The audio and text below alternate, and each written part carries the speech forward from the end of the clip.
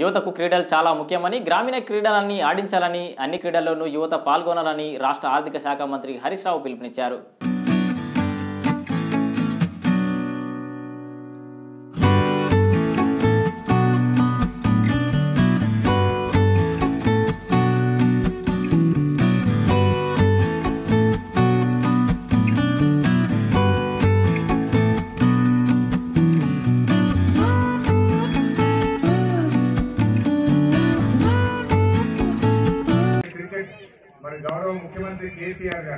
తెలంగాణ రాష్ట్రాన్ని సాధించడమే కాదు ఈరోజు తెలంగాణను భారతదేశంలోనే ఆదర్శంగా నిలిపిన వ్యక్తి మన ముఖ్యమంత్రి కేసీఆర్ గారు.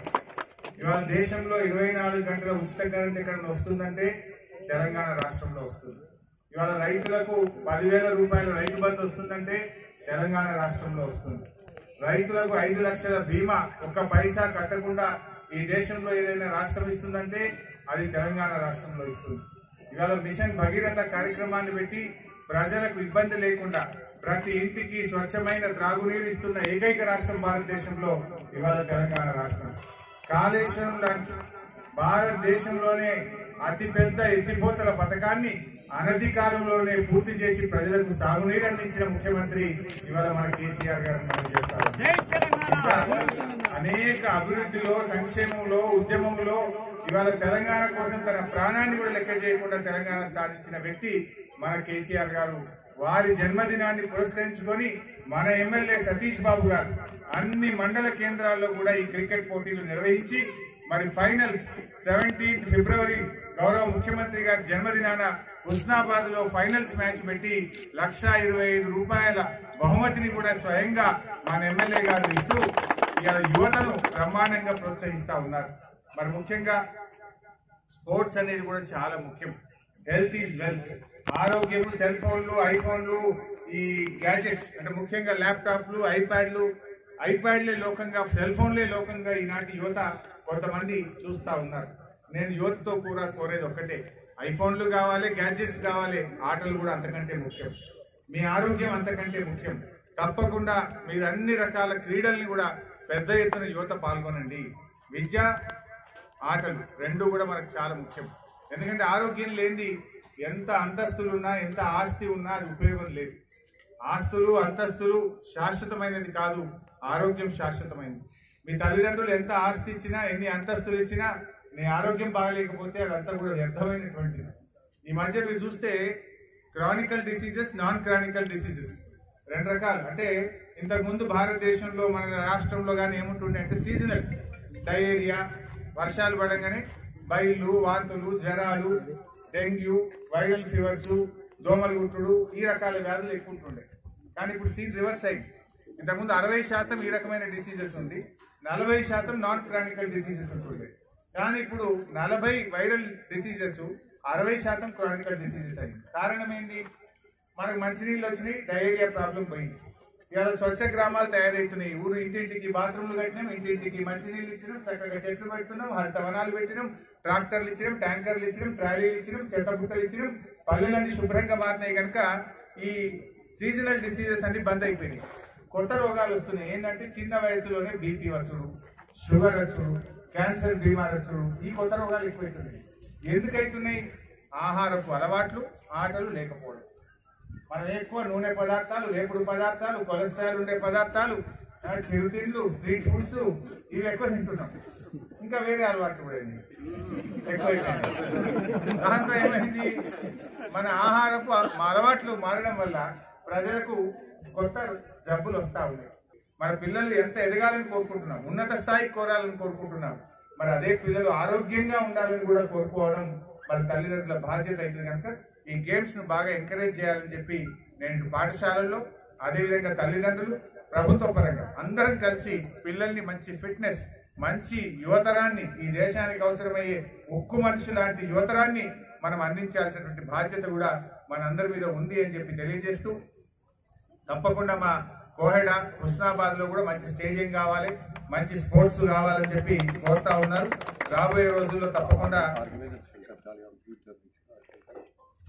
హుస్నాబాద్లో కూడా మంచి స్టేడియం తీసుకొస్తాం. మన కోహెడలో కూడా కొన్ని స్పోర్ట్స్ జిమ్ ఎక్విప్మెంట్ మంచి ఓపెన్ జిమ్ కానీ ల్యాండ్ ఉంటే కొన్ని స్పోర్ట్స్ ఎక్విప్మెంట్ కూడా ఈ ప్రాంతంలో కూడా ఏర్పాటు చేయడానికి తప్పకుండా రాబోయే రోజుల్లో కొన్ని నిధులు కూడా అందిస్తాం. ఇప్పుడు నాకు జనసేపు ఆడినా లేదు నాకు సగం జోష్ వచ్చింది. ఒక రెండు గంటలు ఎక్కువ పని చేస్తే సో అట్లా తప్పకుండా మనిషిలో ఒక నూతన ఉత్సాహాన్ని కలిగిస్తుంది. స్పోర్ట్స్ అనేది క్రికెట్ అనేది కానీ ఏ రకమైన గేమ్స్ అయినా కూడా మనిషిలో ఒక మంచి ఉత్సాహాన్ని అందించేటువంటి స్పోర్ట్స్ మరి కేసీఆర్ క్రికెట్ ట్రోఫీని ప్రారంభించిన మా సతీష్ బాబు గారిని మరొకసారి అభినందిస్తూ మా క్రీడాకారులందరికీ I wish all the best Nalgonda జిల్లా మోత్కూరుకు చెందిన వరకాంతం నర్సిరెడ్డి అనే పేద రైతు బ్రెయిన్ డెడ్ అయి చనిపోవడంతో అవేదానం చేసి ఇతరుల ప్రాణాలు కాపాడడం గొప్ప విషయమని భువనగిరి ఎంపీ కోమటిరెడ్డి వెంకటరెడ్డి అన్నారు.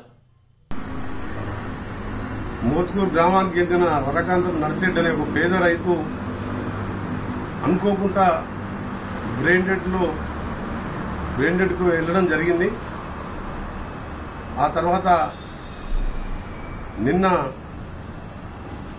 వారి కుటుంబ సభ్యులు ఆ బాధలో ఉండి కూడా ఒక పేద కుటుంబం ఇద్దరు చిన్నపిల్లలు ఉండి కూడా ఐదుగురికి ప్రాణదానం చేయడం జరిగింది. అవయదానం ద్వారా దాదాపు ఐదుగురు మందిని బతికించిన వరకాంతం నర్సిరెడ్డి ఎప్పటికి కూడా చిరంజీవిగానే మిగిలిపోతాడని ఈ సర్వ ఈ సందర్భంగా నర్సిరెడ్డి ఆత్మకు శాంతి కలగాలని భగవంతుడు భగవంతుని ప్రార్థిస్తూ ప్రస్తుతం ఆ కుటుంబానికి తాత్కాలికంగా ఒక లక్ష రూపాయల ఆర్థిక సాయం చేయడంతో పాటు ఆ ఇద్దరు చిన్న పిల్లలకు అయ్యే చదివించడానికి అయ్యే ఖర్చును కూడా కోమటిరెడ్డి ప్రతీక్ ఫౌండేషన్ భరిస్తుందని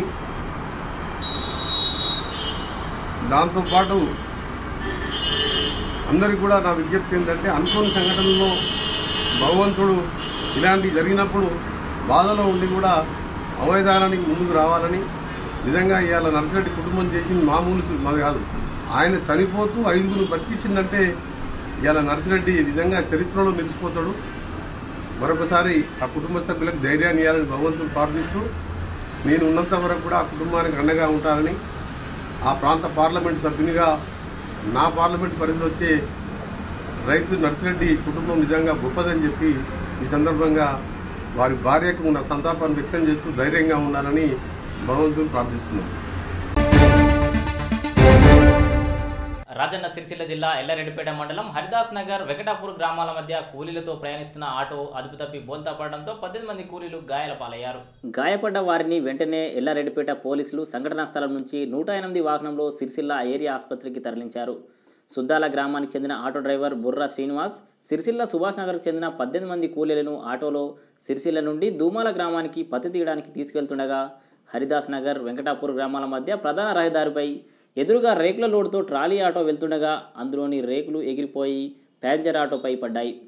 ఇక ఆ రేకును తప్పించబోయి ప్యాసింజర్ ఆటో అదుపు తప్పి రోడ్డు పక్కన గల పొలంలో బోల్తా పడింది.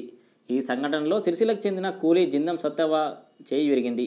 కామెతో పాటు గాయపడిన ఎలగేటి నిర్మల ఎన్ రవలి రజిత నీలవ్వ కనకవ్వ ఆడం విజయలక్ష్మి చిన్న రుక్మిణి పడాల రచిత ఎనగందుల లక్ష్మి కనకట్ల హన్మవ్వ సురాల లక్ష్మి కోడిరి మదనవ్వ సరోజన జడల పద్మ అనే కూలీలను పోలీసులు నూట ఎనిమిది అంబులెన్స్ వాహనంలో సిరిసిల్ల ఏరియా ఆసుపత్రికి తరలించారు.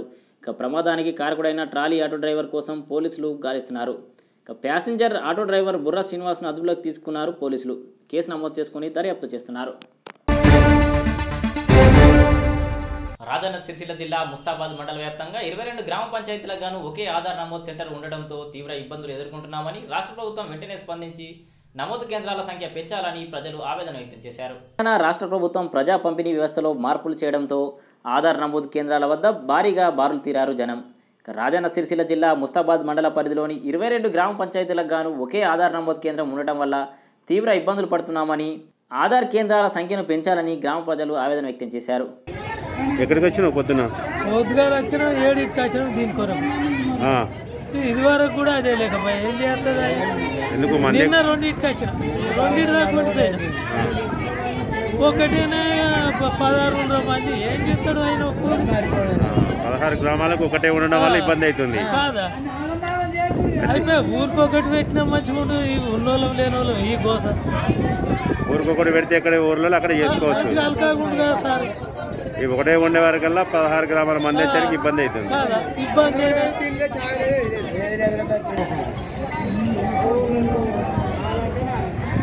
అవునరు నా పేరు సావుల చంద్రము. ఇక్కడ ఏంటంటే మన రేషన్ కార్డుకు ఫోన్ లింకు గురించి లైన్ పట్టడం జరుగుతుంది. సెంటర్ లేక ఒకటే సెంటర్లో. పద్దెనిమిది గ్రామాల ప్రజలు చాలా ఇబ్బందులు పడుతుంది మరి వాళ్ళ ఇబ్బందులు దృష్టిలో పెట్టుకొని ఇంకా సెంటర్లు పెంచాలని నా యొక్క మనవి. ఇసుక తరలింపు విషయంలో రెండు గ్రామాల మధ్య వివాదం చెలరేగింది. ఒకరిపై ఒకరు దాడి చేసుకుని రెండు గ్రామాల ప్రజలు పోలీసులకు చేరుకున్న ఘటన ముస్తాబాద్ మండల కేంద్రంలో చోటు చేసుకుంది. ముస్తాబాద్ మండలంలో పలు అభివృద్ధి కార్యక్రమాలతో పాటు గృహ నిర్మాణాలకు ఈ వారంలో బుధ శనివారాలు ఆవునూరు మానేరు నుండి ఇసుక రవాణాకు తహసీల్దార్ అనుమతి ఇచ్చారు కాగా కొన్ని రోజుల నుండి ట్రాక్టర్లు అధికం కావడంతో ఆవునూరు రెవెన్యూ గ్రామమైన రామ్ లక్ష్మణపల్లి నుండి రవాణాకు అనుమతి ఇచ్చారు దీంతో గ్రామ అభివృద్ధి కోసం పంచాయతీ పాలకవర్గం ఒక్కో ట్రాక్టర్కు వంద రూపాయలు వసూలు చేస్తోంది. అట్టి డబ్బులు ఆవనూరు గ్రామ పంచాయతీకి చెందాలంటూ గ్రామస్తులు ఆరోపించారు. దీంతో రెండు గ్రామాల మధ్య విభేదాలు మొదలయ్యాయి. నేటి ఉదయం రామలక్ష్మణపల్లి నుండి వెళ్తున్న ట్రాక్టర్లను ఆవనూరుకు చెందిన గ్రామస్తులు అడ్డుకున్నారు. దీంతో ఒక్కసారిగా రెండు గ్రామాల మధ్య ఉద్రిక్త వాతావరణం ఏర్పడింది. ఒకరిపై ఒకరు చేతులతో దాడి చేసుకున్నారు. అడ్డుకున్న ట్రాక్టర్లను పల్లెవాసులు తీసుకెళ్ళారు. దీంతో ఆగ్రహానికి లోనయ్యారు. ఇక రెండు గ్రామాలకు చెందిన ప్రజలు పెద్ద ఎత్తున పోలీస్ స్టేషన్కు చేరుకున్నారు. ట్రాక్టర్లను అడ్డుకున్నందుకు ఆగ్రహానికి లోనైన పల్లెవాసులు తమపై రాళ్ళతో దాడి చేసి చంపుతామని బెదిరించారంటూ ఆవునూరుకు చెందిన స్థానికులు పల్లెవాసులపై పోలీస్ స్టేషన్లో ఫిర్యాదు చేశారు. ఇక తమ గ్రామం నుంచి వెళ్తున్న ట్రాక్టర్లను ఎందుకు అడ్డుకుంటున్నారని ప్రశ్నించినందుకు ఆవునూరుకు చెందిన పలు ట్రాక్టర్ల యజమానులతో పాటు స్థానికులు తమపై దాడికి దిగారని పల్లెకి చెందిన స్థానికులు ఆవునూరు వారిపై ఫిర్యాదు చేశారు. ఇక రెండు గ్రామాల వారు ఇచ్చిన ఫిర్యాదు తీసుకొని దర్యాప్తు చేస్తున్నట్లు పోలీసులు వెల్లడించారు. అఫీషియల్గా ఇసుక రీచ్ అనేది ఆవునూరు గ్రామానికే ఉంది. మా రెవెన్యూ విలేజ్ వచ్చేసి ఆవునూరే. రామలక్ష్మపల్లి విలేజ్ వాళ్ళు అన్అఫీషియల్గా రామలక్ష్మపల్లిలో ఇసుకను లోడ్ చేయించి ఆ ట్రాక్టర్ల ద్వారా తరలించేటప్పుడు మా గ్రామస్తులు అందరం కలిసి అడ్డుకుందామని చెప్పేసి అక్కడ నిలబడ్డాం. ఏది రామలక్ష్మపల్లి టర్నింగ్ దగ్గర. నిలబడ్డ ప్రాంతంలో మేము ట్రాక్టర్లు వస్తున్నాయని ఆపడానికి ముందుకెళ్తే పాక్ అంజయ్య గూడ రాజశేఖర్ జిల్లా సతీష్ ఒక నలుగురు వ్యక్తులు వాళ్ళు ఏంటంటే ట్రాక్టర్ పైకి తీసుకొచ్చి మా ఒక దాదాపు అరవై మీటర్ల దూరం మమ్మల్ని ముందు ట్రాక్టర్తో పాటు నెట్టుకెళ్ళారు దాని తర్వాత మిమ్మల్ని చంపుతాము. మీరు ఏం చేస్తున్నారు? మీది ఏముంది? డామినేషన్ అన్నట్టు మా ఊరు మధ్యలోకి వచ్చి సుభాష్ స్టాచ్యూ దగ్గరకు వచ్చి గొడవ వేయడం జరిగింది. నాతో పాటు నా పక్కన ఉండే ఒక నాలుగైదు వ్యక్తుల మీద చేయి చేసుకున్నారు. అదేవిధంగా ఈయన బంద్ర నరసయ్య అనే వ్యక్తి పైన కూడా దాడి చేయడం జరిగింది. మా మీద కూడా పాకాంజే అనే వ్యక్తి మేజర్గా నా పైన చేయి చేసుకున్నాడు ఈరోజు. అయితే మేము ఆ విషయాన్ని చేసుకుని ఏంటంటే ఈ రోజు ఒకసారి పిటిషన్ ఇచ్చేసి తర్వాత ఇదేంటంటే అనఫీషియల్ ఇచ్చిన తీసుకెళ్ళడం తప్పు అనే విషయాన్ని మేము అడ్డుకుంటే మాపై దాడి చేశారు కాబట్టి గ్రామ ప్రజలు అందరూ ఉన్నారు. రామలక్ష్మపల్లి గ్రామంలో చాలా మంది యువకులు అందరూ వచ్చింది కాబట్టి మేము దానికి ఈ రోజు పోలీస్ స్టేషన్కి వచ్చి ఫిర్యాదు చేయడం జరిగింది కాబట్టి దీనికి తగు చర్యలు తీసుకోవాలని చెప్పి కోరుకుంటున్నాం. అంటే ఏమైనా ఇసుక రీచ్ డబ్బులు పెట్టారా? డబ్బుల విషయంగా అనఫీషియల్ రిచ్ కాబట్టి మీరు rich official Avunuru unofficial Ramalakshmapalli unofficial ఇచ్చిన ఇసుక తీస్తున్నా అడ్డుకోవడానికి పోతే మా మీద దాడి చేయడం జరిగింది. దానికి అందరు నెట్టేసారు వీళ్ళందరి మీద దాడి చేశారు. అది. వాగులోకి పంపారు. వస్తున్నాయి. వస్తుండగా మా గ్రామ పరిధిలో ఉన్న- ఉన్నది కాబట్టి మా గ్రామ పరిధిలో మా గుడి డెవలప్మెంట్కు మేము ఒక వంద రూపాయలు చిట్టి చింపంగా ఇదే ఆవునూరు గ్రామస్తులు ఏం చేశారంటే మా ఊర్లో సుతా వంద రూపాయలు చింపాలి అని మా గ్రామాల మా ట్రాక్టర్లకు అడ్డు తిరిగితే అరే అక్కడిక్కడ ఎందుకు ఆపుతుర్రు? ట్రాక్టర్లు ఆపకూరు అంటే మాకు దౌర్జన్యం చేసి మా మీద మీరు ఎట్లా ఉష్క నడిపిస్తారు మీ అని మా మీద దౌర్జన్యం చేసారు దీనికి మేము ఏ ఏది కానీ మేము పొరపాటు మాట్లాడలేము. మేము మూడు గంటలు వెయిట్ చేసాం అరే ఇసుక ట్రాక్టర్కి ఇట్లా పోతున్నాయి అంటే మాట్లాడడానికి మూడు గంటలు వెయిట్ చేసాము ఈ మూడు గంటలు వస్తే వాళ్ళ వస్తామని రాలేరు. నిన్న ఏమన్నా నిన్న ఫోన్ చేసి డిసి వెంకటరెడ్డి ముందు నర్సయ్య ఇవాళ ఈ రోజు వస్తామంటే బా- వీళ్ళిద్దరు మీ అందరం రోలుకొని వస్తామంటే మూడు గంటలు వెయిట్ చేసాం మూడు గంటలు వెయిట్ చేసినా వీళ్ళు రాలేరు. రాకపోతే ట్రాక్టర్లు వచ్చాయి. ఉసుక నింపుకొని ఎలవదిగా వీఆర్ఓ సంతకంతో ఉసుక నింపుకొని పోయేటప్పుడు అవును ఆపితే ఎందుకు ఆపిరని మా గ్రామస్తులు పోయారు గ్రామస్తులు అని పోతే అదే వాళ్ళు ఏం చేసారంటే మా వాళ్ళు నువ్వు ఎందుకు వస్తున్నావు అని ఇట్లా చేతితో నూకే వరకు మా వాళ్ళు నుండి ఏమన్నారు ఎందుకు నూకుతున్నావు అని ముందుకు పోయి అక్కడ ఒక్క ముందు ట్రాక్టర్ ఉన్నది దాని మీద ఏం చేశారంటే అడ్డం కూర్చున్నారు. మేము పోనీయమని అడ్డం కూర్చున్నారు. ఒకరిని ఫోన్ పలిగిపోయింది ఒకరికి రక్తం గారింది ఈ ఆ తోపులాట్లో ఇదే విధంగా ఈ ఘర్షణలు వద్దు మనకు సామరస్యంగా ఉందామని మేము చెప్తే ఏం లేరు. దీని ఇంత జరిగింది. దీన్ని అధికారులు వచ్చి దీన్ని ఏ సమస్య లేకుండా చేయాలని కోరుచున్నాం. సిద్దిపేట జిల్లా కోహెడ మండలంలోని పలు అభివృద్ధి కార్యక్రమాల్లో మంత్రి హరీష్ రావు పాల్గొన్నారు. నూతన పాఠశాల భవనాలు రైతు వేదికలు మహిళా సమైక్య భవనాలు నూతన గ్రామ పంచాయతీ భవనాలను ఎమ్మెల్యే సతీష్ కుమార్తో కలిసి ప్రారంభించారు.